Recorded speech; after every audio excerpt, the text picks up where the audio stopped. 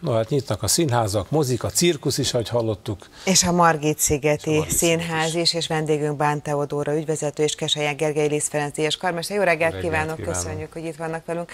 Az ez nagyon jó hír, hogy eljött megint az a pont, bár tavaly nyáron is lehetett azért, hál' Istennek Margit szigetre menni, de mivel készülnek és mikor várható a nyitás, és milyen feltételekkel lehet látogatni majd a színházat? A legfontosabb Igen. talán most ez. Végre elérkezett a pillanat, hogy nyithatunk, ugye készülünk rá egyik évről a másikra, de folyamatosan szeretnénk készenlétben lenni, hogy ne érjen váratlanul minket a jó hír.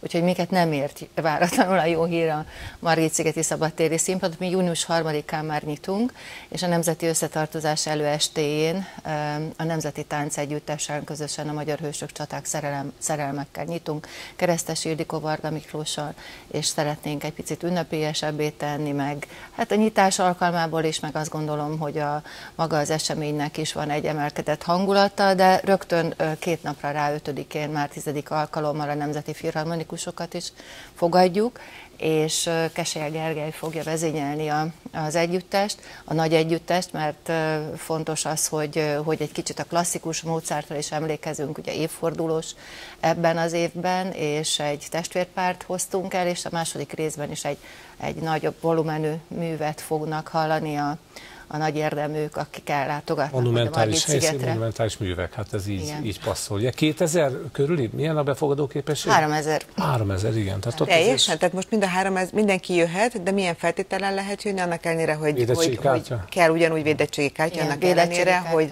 uh, szabad levegőn vannak a vendégek is, de kell a védettségi kártya. De minden kell. széken ülhetnek most már. Minden széken ülhetnek, és védettségi kártyával lehet érkezni, én nagyon remélem egyébként, és nagyon szép az érdeklődés, tehát elég korán elkezdtük a jegyértékesítést, és ez folyamatosan fenn van tartva. Hát mindent megteszünk annak érdekében, így a művészekkel, hogy, hogy minél minél örömtelibb legyen ez a nyár és a nyitás. A zenészeknek mennyire speciális feladat, ez tényleg a karmesterről fordulok, hogy egyrészt egy ekkora térben, illetve nyitott térben, tehát nincs akusztika úgymond, mint egy zárt térben, másrészt hát ugye az időjárás, most az esőről is beszéljünk, ugye, mert az nem lesz idén nyáron remény, de mondjuk akár csak a hőmérséklet mennyire befolyásolja mondjuk főleg a, a, azokat a hangszereket, amelyek erre, erre érzékenyek, mennyire speciális a feladat, hogy tudnak erre felkészülni? Az időjárás speciális, 17 fok alatt eh, elvileg a legtöbb szakszervezet azt mondja, hogy nem is szabad a hangszerek miatt játszani, úgyhogy ez egy... Érdekes, hogy az alatt megváltozik a hangszínük, a, a bármi, ami ezzel kapcsolatban. Meg a zenészeknek se jó. A, hangszer, a zenészeknek se jó, de valóban a hangszereknek sem jó. Ugye van, aki... E, szokták úgy is mondani, hogy hát ha már nagyon-nagyon párat, nagy páratartalom van, na én akkor a bányavonómat hozom, mert, mert az igazi más eszközök is a vonók szőrét, a, a fúvós hangszerek nád fúvókáját, szóval sok minden meg is repedhet egy fúvós hangszer, és ugye akár több milliós kár keletkezhet, vonós is megrepedhet. Nekem volt egyszer egy jó példa, és mindenki megérti, az Akteleki Cseppkő dirigáltam egy egyórás koncertet körülbelül, és utána betettem a tokba a pálcámat, másnap kivettem, és a fa pálca így hát, száz, szálra esett szét. Úgyhogy ez veszélyes. A karmesteri feladat az, az viszont nagyon érdekes, és én nagyon szeretem, és sokat dolgoztam azért, hogy legyen ebben tapasztalatom, mert ugye azt talán kevesen tudják, hogy a hang az nagyon lassú. Amikor azt mondjuk, hogy valami átlépi a hangsebességet, ez nagyon gyors, de ahhoz, hogy, hogy zenénk, ahhoz nagyon lassú, 15 méteren túl a hang terjedési sebessége az már befolyásolja az együttjátszást és az együtt hallhatóságot. Ez nem mindegy, hogy hogy helyezkedik-e a zenekar. Így van, hogy hogy, hogy, hogy hallja a karmester. A karmesternek, akit követnie kell.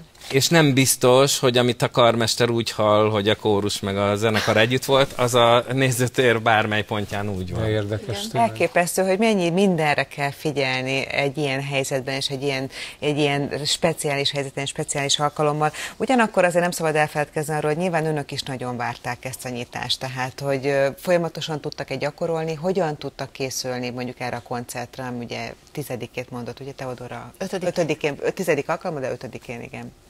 Nekem kicsit dejavűm van.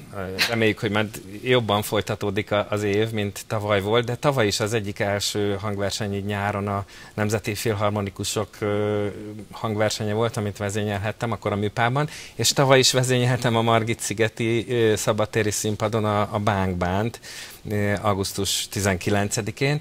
Most 20-án lesz. Most 20-án lesz. Úgy tessék beírni a naptárba. Úgyhogy a zenekar is, meg a, a színpad is megvolt az elmúlt szezonban. Nagyon sokat streamelt az Operaház, én ott dolgozom legtöbbet, de zenekarokkal is online koncerteket tartottunk. Szóval a, én úgy gondolom, hogy nagyon szépen karban van tartva. A, Egyben lett tartva mindenki. Igen, igen, a magyar, magyar zenész társadalom. Hát persze azért, azért akárki akármit mond, azért más, amikor kiléphetünk az igazi közönség elé.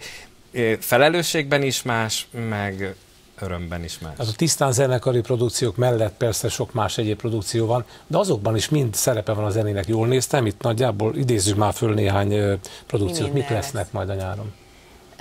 Négy musical bemutatónk is lesz, rögtön júniusban a Puskás musicalt két alkalommal láthatják, ugye egy előbb bemutatója volt az Erkel Színházban, és szintén a pandémia miatt picit elhalasztódott a történet, úgyhogy az igazi nagy bemutató az nálunk lesz.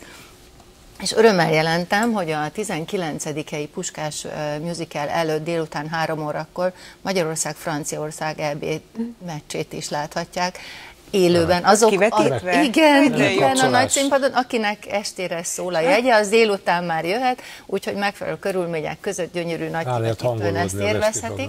Igen, Hegedűs a háztetőn, a Tesla Musical lesz, és a kabarét mutatjuk még be még a Víg Színházzal közösen, de még egy pillanatra visszatérve, Ártól és Lukács Jusszent elhívtuk, ugye a két zongorás, Ezdur két zongorás versenyművét adják elő, és a második részben csak a, a az akusztika miatt, tehát egy nagy szimfonikus zenekar, egy nagy kórus, és egy gyerekkórus vesz lesz, és természetesen szólisták a Carmina Buránával. Tehát, hogy azért lesz dolga a karmester úrnak, azt gondolom így. Hihetetlen színes a kínálat. Hát szerintem idén, sem szabad kiadni a Margit szigetet, úgyhogy nem, mindenképpen írják be a napára.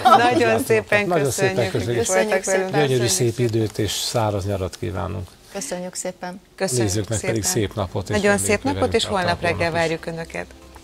Legyen így. Viszlát!